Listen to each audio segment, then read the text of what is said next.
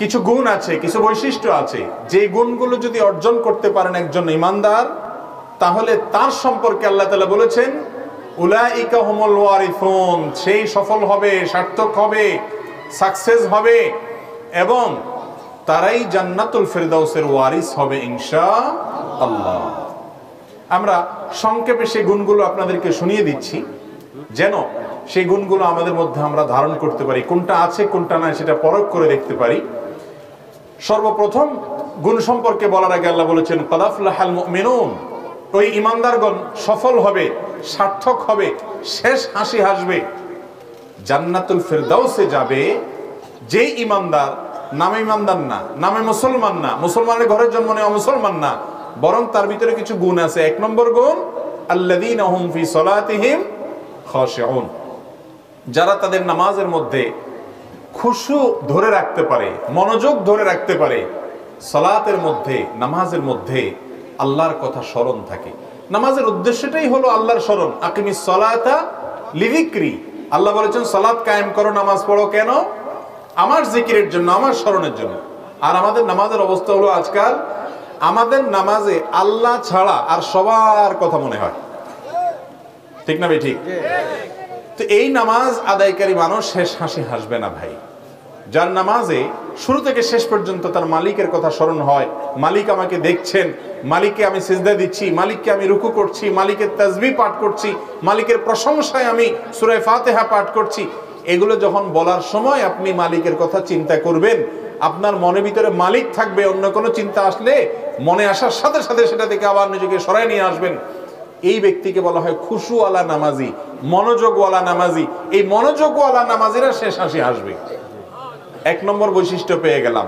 তাহলে নামাজের মধ্যে মনোযোগ ধরে রাখার জন্য নিজের সঙ্গে নিজে লড়াই করব তো ইনশাল্লাহ চেষ্টা করতে হবে। সাধনা করতে হবে। এটা এমনি এমনি আসে না ভাইয়েরা, বাবারা। এটার জন্য চেষ্টা করতে হয়। নিজের সঙ্গে সংগ্রাম করতে হয়, লড়াই করতে হয়। নফস আমাদেরকে দুনিয়ার দিকে নিয়ে যায়, ব্যবসার দিকে নিয়ে যায় দোকানদার দিকে নিয়ে যায় অন্য দিকে নিয়ে যায়।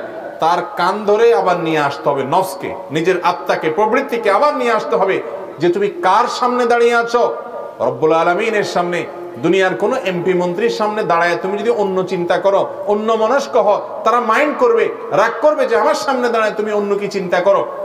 সেখানে আহকামুল হাকিমিনের দরবারে দাঁড়িয়ে অন্য চিন্তা করলে সেটা আল্লাহর শানে কত বড় বেয়াদবি হতে পারে। এই জন্য নামাজের মধ্যে মনোযোগ ধরার জন্য মনোযোগটাকে টিকায় রাখার জন্য, অন্যদিক ছুটে গেলে আবার সেটাকে টেনে আনার জন্য চেষ্টা করব তো ইনশাআল্লাহ। জান্নাতুল ফেরদাউসের জন্য উপযুক্ত হতে হলে আগে এই কাজটা করতে হবে। এক। নাম্বার দুই।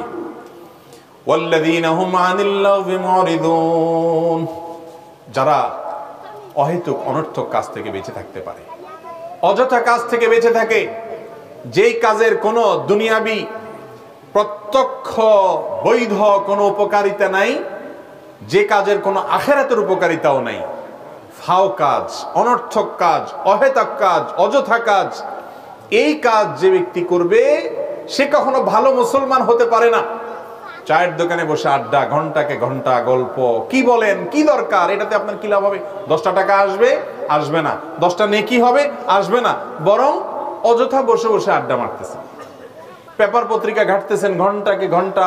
প্রয়োজনীয় কিছু দেখলেন একটা কথা, কিন্তু প্রয়োজন ছাড়া অযথাই ঘাটতেছেন ফেসবুকে যুবকরা আজকাল স্ক্রল করতেছেন স্ক্রল করতেছেন, ডাউন, নিচের দিকে, আঙ্গুল ক্ষয় হওয়ার মতো অবস্থা।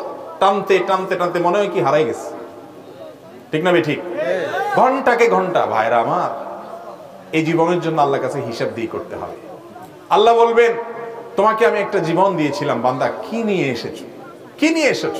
যাই বলবেন আল্লাহ ফেসবুক যে পরিমাণ ফেসবুক আর ইউটিউব যে পরিমাণ টানছি স্ক্রল করছি এটার যদি আপনার মাথা মাপা হয় ফিতা দিয়ে তাহলে কত কিলোমিটার যে হবে আল্লাহ জানে। কি বলেন এই আমল আখেরাতে কোনো কাজে আসবে? একইভাবে দুনিয়াতেও কোনো কাজে আসবে না। ফেসবুক যত টানবেন দুনিয়াতে তত বেশি লাভ হবে পয়সা করে আসবে? সুখ শান্তি আসবে? আসবে না।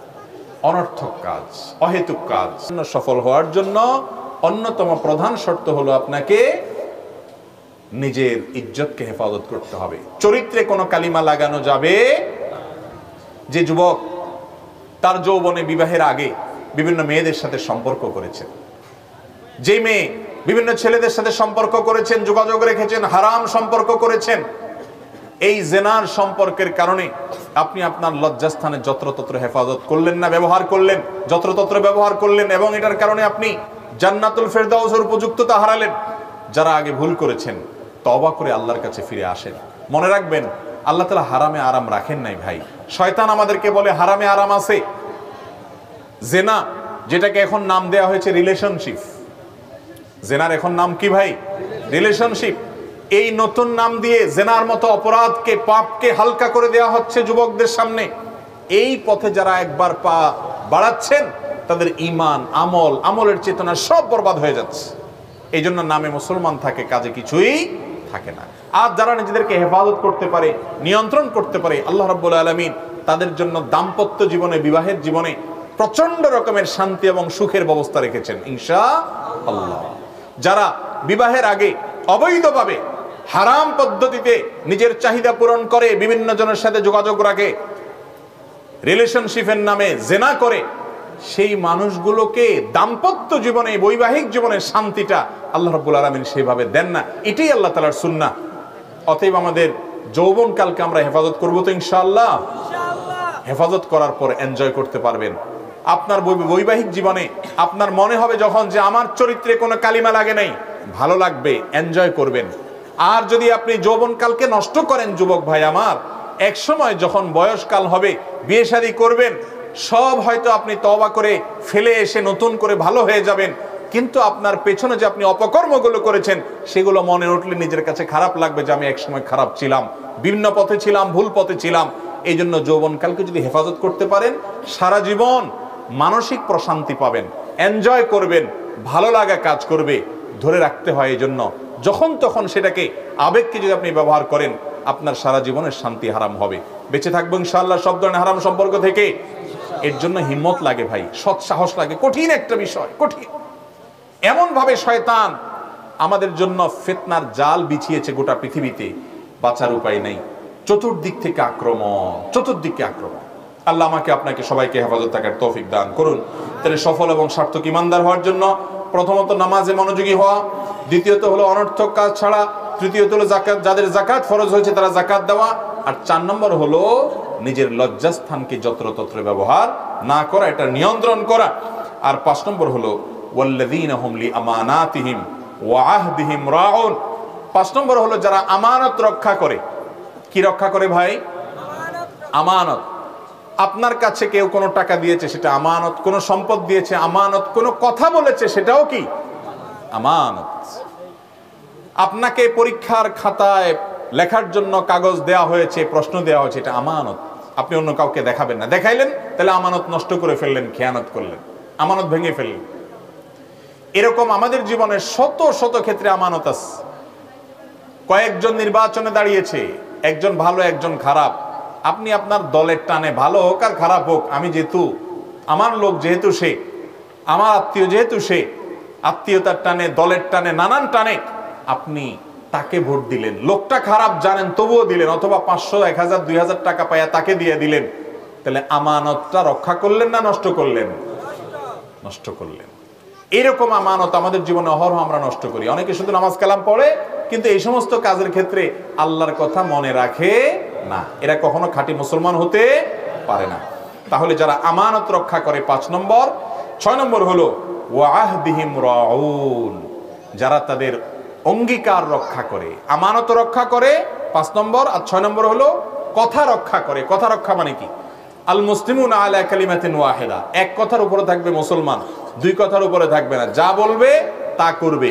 যেটা মানুষের সাথে কথা দিবে, তার ব্যতিক্রম করবে না। যেটা পারবে না, সেটার কথা দিবে না। কথা দিবে, কাজ করবে না। সকালে বলবে, বিকালে ওয়াদা ভাঙবে। এই ওয়াদা খেলাফ করা মুসলমানের চরিত্র হতে পারে না। মুসলমানের জীবন যেতে পারে, সে ওয়াদার খেলাফ করবে না। যা বলেছে সেটাই করবে। এবং মুনাফিকের চরিত্র নবী সাল্লাহ সাল্লাম বলতে গিয়ে বলেছেন, আয়াতুল মুনাফিকে সালাফ মুনাফিকের তিনটা মার্কা আছে। মুনাফিকের মার্কা কয়টা ভাই? তিনটা। ইদা হাদ্দাসা কাযাব। যখন সে কথা বলে, কথায় কথায় মিথ্যা বলে। কথায় কথায় মিথ্যা বলে। মুনাফিকের মার্কা। ওয়া ইদা ওয়াইদা ওয়াদা আখলাফ। কারোর সাথে কথা দিলে, ওয়াদা করলে, ভাই, আমি আসতেছি, কালকে আপনার টাকাটা দিব, এক সপ্তাহ পরে দিব, এটা করব, ওইটা করব। ওয়াদা করে, ওয়াদা করলে ওয়াদা খেলাফ করে, কোনো ওয়াদার মূল্য তার কাছে তুমি না খান, আর যখন আমানত রাখা হয় তার কাছে কেউ কিছু আমানত রাখে, সেটা নষ্ট করে, আমানতের খেয়ানত করে। এই তিনটা হলো মুনাফেকের মার্কা।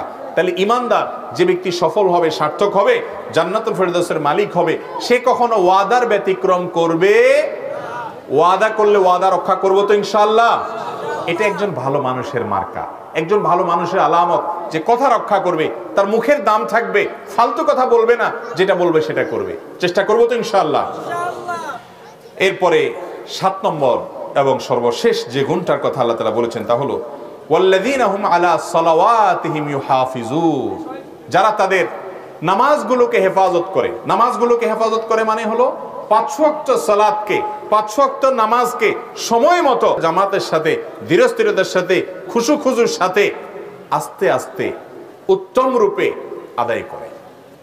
ওই যে নামাজের প্রথমটা বলা হয়েছে, খুশু অবলম্বন করা, মনোযোগ থাকা।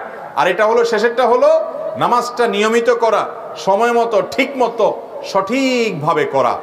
মাঝে মধ্যে করে, মাঝে মধ্যে ছাড়া এরকম না।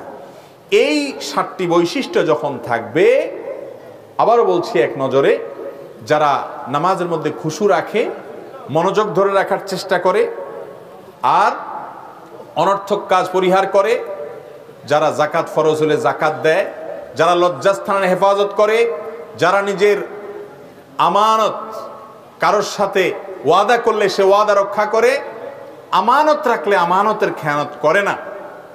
কেউ একটা কথা বলে বলল, কাউকে বলিয়েন না। তো আর বলে না ওটা আমানত থাকে। নবীজি বলেছেন, ইদা হাদ্দাসারাজুল ফালতা ফাতা কেউ আপনার সাথে কথা বলে একটু সরে গেছে তাহলে এটা আপনার কাছে আমানত হয়ে গেল। সে যদি অন্যের কাছে প্রকাশ না চায় তাহলে আপনি কারোর কাছে বললে আমানতের খেয়ানত করলেন। সে চলে গেল আরেকজনের কাছে বলে বলে মজা নিচ্ছেন। যে জানো, সে কি বলছে? তার কাছে বলে আপনি হারাম স্বাদ নিচ্ছেন। গল্প দিয়ে তার দুর্বলতাটা বলে দিলেন। তার কথাটা, আমানতটা খেয়ানত করে দিলেন। এটা ইমানদারের কাজ না। এটা রক্ষা করতে হবে, আমানত রক্ষা করতে হবে। আর সর্বশেষ হলো ওল্লাদিনহুম আলা সলাওয়াতিহিম সমস্ত নামাজ নিয়মিত, ঠিকমতো আদায় করে। উলাইকা হুমুল ওয়ারিসুন। এই মানুষগুলো হলো ওয়ারিস। কিসের ওয়ারিস? জমি জিরাতের ওয়ারিস না। জমি জিরাতের ওয়ারিস না। এরা কিসের ওয়ারিস? আল্লাযীনা ইয়ারিসুনাল ফিরদাউসা হুম ফিহা খালিদুন। যারা জান্নাতুল ফেরদাউসের মালিক হবে ইনশা আল্লাহ, এবং সেখানে তারা চিরকাল থাকবে। এই সাতটা গুণ আমরা অর্জন করব তো ইনশাআল্লাহ। সুরায় মোমনের শুরুতে সফল মোমিনদের, জান্নাতুল ফেরদাউসের ওয়ারিসদের যে সাতটি গুণ আল্লাহ বলেছেন, আল্লাহ তারা সেই গুণগুলো আমাকে, আপনাকে, আমাদের সবাইকে অর্জন করার তৌফিক দান আমল করব তো ইনশাআল্লাহ।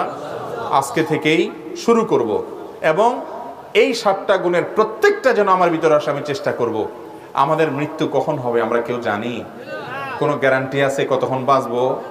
তাহলে যখন শুনলাম, এখন থেকে যদি তবা করে আগেরগুলোর জন্য ক্ষমা প্রার্থনা করে হালখাতা করে, নতুন করে জীবন শুরু করেন, আল্লাহ তালা পূর্বের সবগুলো মাফ করে দেবেন ইনশাআল্লাহ। নতুন করে সংকল্প করব তো ইনশাআল্লাহ? নাকি শুধু ওয়াজ শুনে কান সুখ করে বাড়িতে যায়, নাকি তেল দিয়ে ঘুমাবেন? কোনটা? আমল করবেন তো ইনশাআল্লাহ? আল্লাহ আমাকে, আপনাকে, আমাদের সবাইকে আমল করার তৌফিক দান করুন। জাজাকুমুল্লাহ খাইরা ওয়া আখিরু দাওয়ান, আলহামদুলিল্লাহ আলামিন।